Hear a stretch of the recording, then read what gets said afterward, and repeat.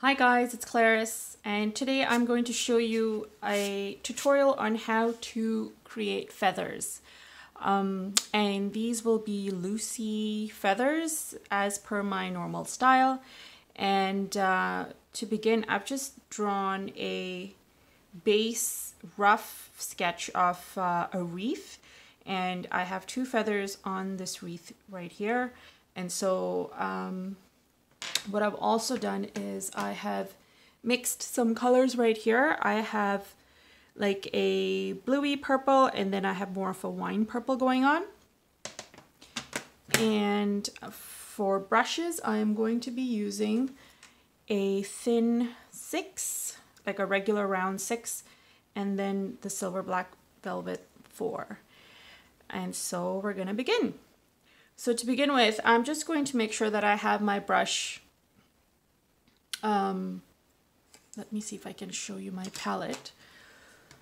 I'm just going to make sure that I have my brush right here and I've dipped it in water. And I'm going to go ahead and get some color off my of my palette. And I'm going to use the more reddish pinkish one. And then actually before I do that, I'm just going to take the four, the number four, and wet this area really quickly. And I've created this shape which is like tapered at the end and then broad at the at the top. And I'm just gonna quickly put in some water there. As I near the center line, I'm just going to keep a little bit of blank um, like space just making sure that I don't touch it with water. And then I'm going to go ahead with this and just apply some color.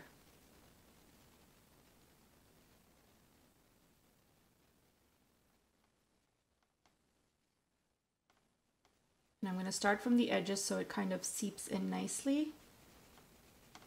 And then it gives you that nice look. Then I'm going to go back in with my number four Make sure I have some water on it and then I'm just gonna pull what I have from here up and just take it over on the other side.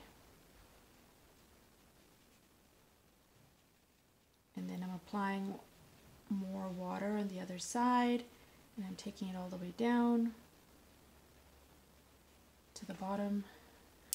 And then I'll take some of the other purple that I have from my palette and I'm just going to add that oops, at the edges. And then dipping more water on my brush. I'm just going to continue adding that color as it has that nice romantic kind of faded look to it. And I like how that this dab of purple has added some interesting um, variation to it. So I'm going to add that over here as well.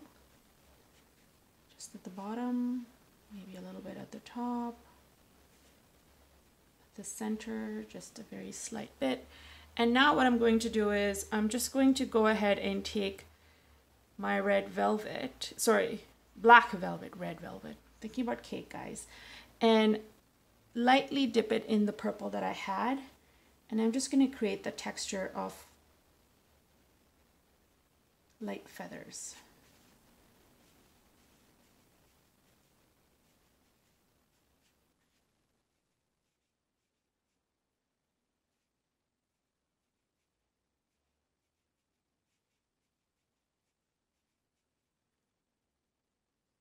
Let's see what happens if I don't take any water and I just kind of take an empty brush, so to speak, and just do this. Not bad. I'm going to take some of the color again. And this time, I'm just going to move my hand so you guys can still see. I'm going to go higher.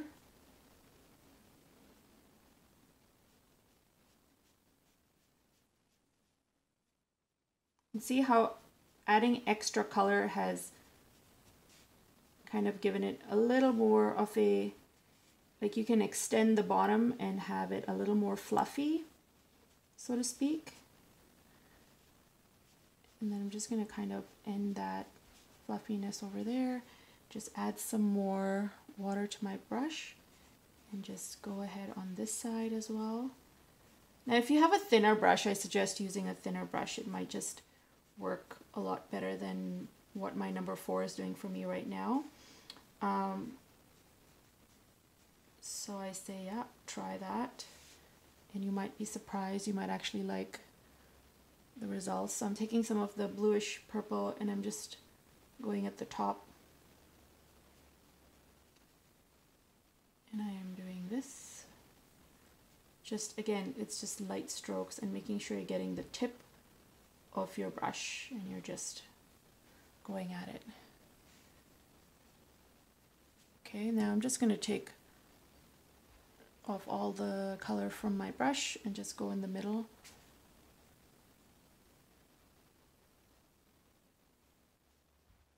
And do that. And then I am going to go back, get more purple, and just kind of work a little more on the strokes at the top because I'm not that pleased with it. So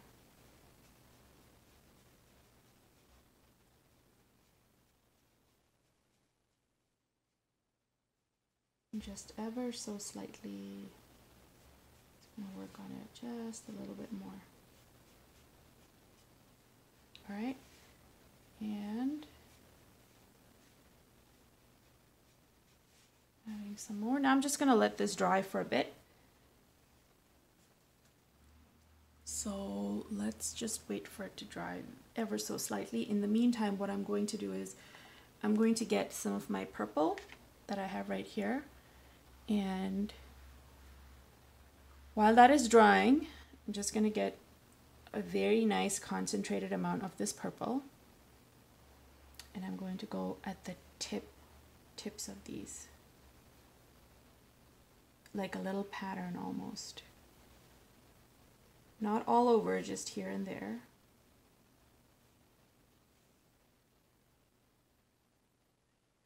And then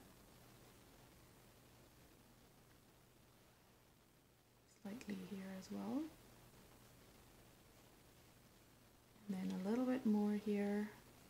So you know how some of the feathers have textures? So that's what I'm trying to do here. Create a feather with interesting textures. And then I'm just doing some at the bottom as well to go very lightly. You can do some in the middle if you want to.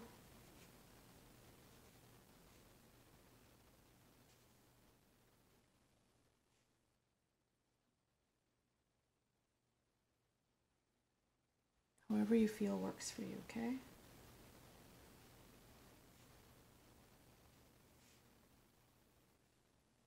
And I'm going to end that right there. Because I'm pleased with how this has turned out. I'm just going to go ahead and do the center line, which is missing.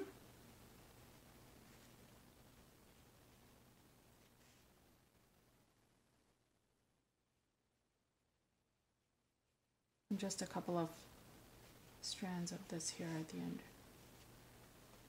And that is my feather. If you feel like your edges need some work, you can just go ahead and do it. Um, I feel mine could use some work, but I'm not going to push it, so I'll just leave it for the sake of this tutorial. And once this is dried, we're going to do this other version right here. So let's just wait a few seconds for that. All right, I think we're good to go for the next one. Um, just to really quickly give this line a little more definition, I will, actually no, let's do this one first, just in case this needs to be dried a tad bit more. Um, so for this, I'm going to be doing like a, like a dark black and a grayish blue. They're very dark here, you can't really see them, but when I mix them, this is what they look like. Oops, that's what the blue looks like, that's what the gray black looks like. And I'm going to start off with the gray black and making sure that I have enough water on my brush. I'm just going to go down and do the same thing that I did for this one here.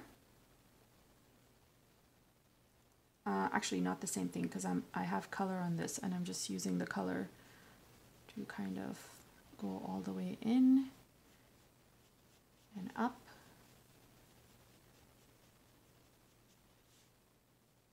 and tapered edge using more color of that black I'm just going to go ahead and lift the color down or up the feather. And taking more water I'm just going to spread this color to the end leaving a white-ish line in the center.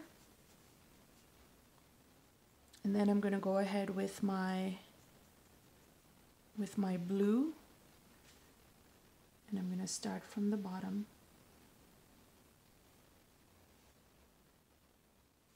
And then just apply it in areas just at random.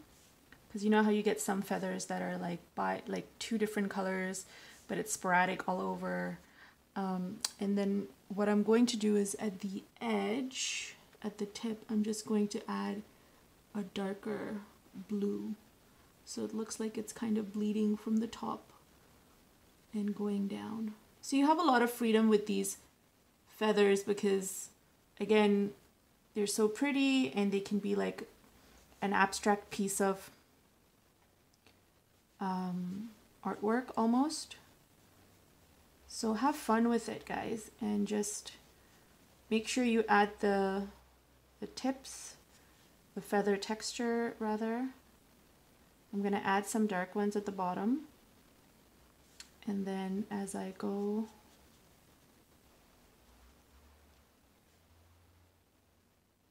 just don't forget the tip. And then the key is to make sure that you get these before it completely dries up and just get some nice texture in there. Uh, I'm going to wash off the color right now and just use the color that's already here to create some more interesting light feathers here and there just to keep it light